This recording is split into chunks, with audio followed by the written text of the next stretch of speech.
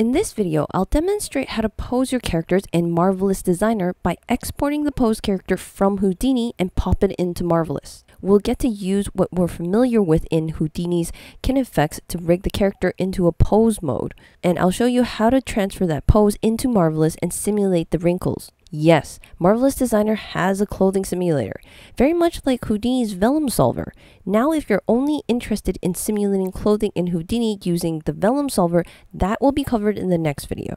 Why would we ever want to simulate in Marvelous Designer? I mean, we have Houdini's Vellum Solver, right? Which simulates things at a way more complex level. Sometimes you may just want a single pose for your character with the clothing that you already have. This could be used for 3D printing, table turnarounds, or a single shot render. You may just need a simple pose, and I think that's where you want to simulate in Marvelous versus Houdini. There's a couple ways you can export this. Now, I've exported my clothing uh, posed with this T-pose, but you don't have to. Marvel, one of the fancy features Marvelous Designer supports is that it can morph your character into a different pose, thereby posing the clothing in a different pose as well. What you need to do is, or what we can do in Houdini is that I've animated the mannequin into this hip pose. So let me turn the timeline here. So he's just going from here to a hip pose. And all I'm doing is this using IKs to control this. Now this is all covered in my previous IK tutorials, um, sorry, KineFX tutorials at the basic concept three, I believe. If you make it up to three, you, you will know how to do this. But it's not anything hard. You can, you don't have to use IKs. So IKs just makes it easier to manipulate the character rig. You can manually do it. This is a very simple pose. This is just two hands on the hip. Now we're gonna export this animation from this T pose to this hand pose. So these, this is around 30 frames, 20, 26 frames right here. And what we need to do is drop down FBX ROP, but we're gonna use FBX ROP animation output because we're interested in the animation. Now I've already had that down here, so there's not much that I've changed. It's all default parameters. The only thing is it's 26 frames fed in where I want the file to be, and that's going into the mannequin hip pose animation. That done, click the save, go there. We come over to Marvelous Designer. How do we get that animation in here? Well, first of all, I would delete this character because it's going to make a double. Select that move tool, click your avatar. You can see that it, it's turned into a highlighted orange-ish. Press delete. Now we can import, and you want import add. You don't want import. Just import add is the one you want because we're trying to morph the character. So I'm going to choose hit pose animation.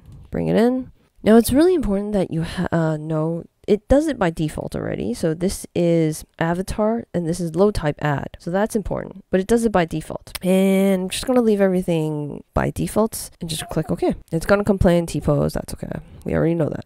Now press this little button down here. And that'll pull up the animation window. And then if you play it, so you can see this timeline, you can see it bending down, but it's not moving the closing. That's because we have to turn on the simulator. So what you do is turn on the simulator right here. I'm going to use, uh, I'm going to use the normal one actually.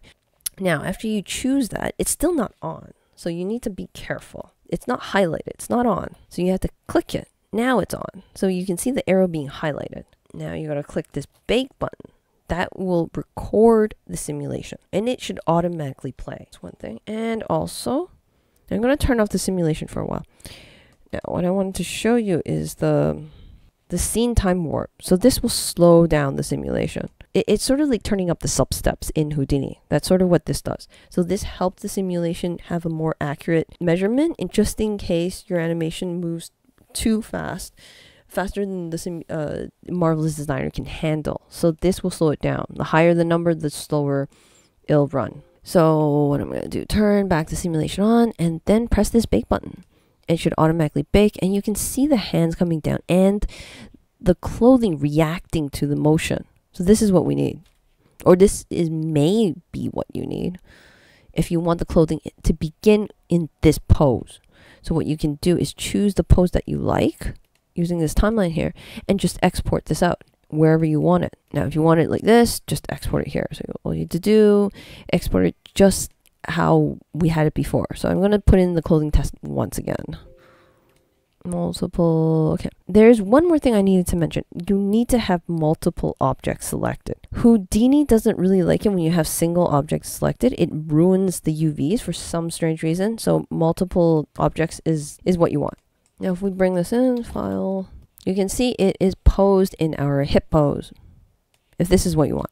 Now this is not what i'm going to be doing though i have exported this character in this pose. And I've actually animated him in the Vellum simulator using the Vellum uh, solver instead of using Marvelous Designer. So I like doing it that way, having everything all in one place just because I like Houdini. It's your preference. This is here if you need it. Going back to Houdini, this here is not something I'm using. This is just here for FYI, just in case you need it. Now let's go back. Now let's go into the animation. This is where we bring in Marvelous Designer and our character animation, which I have hooked up to a walking animation. So let's take a look over here.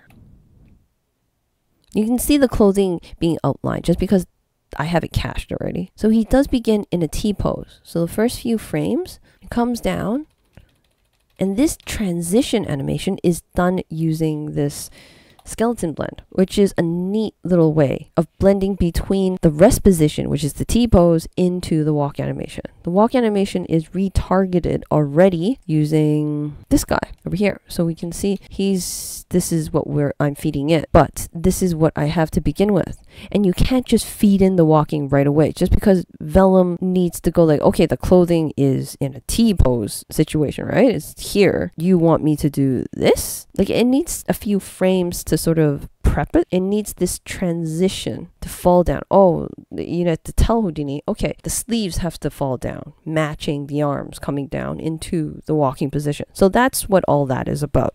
And you can animate the skeleton, skeleton blend here. So that's what I've done over here.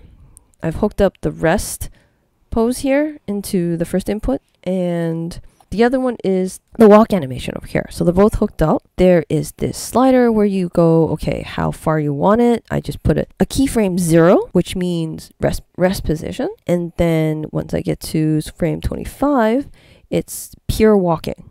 So this is perfect. I haven't decided what to release to my perk members for this video since I had released the whole Marvelous Designer 2 Houdini workflow in the previous video. I need to come up with some new stuff. I am thinking of creating some more complex clothing designs for my characters in Marvelous, which may be used for my upcoming project I'm working on, that could be released for my Perk 1 members. And for the Perk 2 members, I could do some clothing tearing, which I've been wanting to do for some time now. Maybe I can put something together for a quick fight scene that ends up tearing the clothing. This is all in brainstorming stage, but I've been wanting to do more fun things with the HIP project releases. Thanks for watching and sticking to the end.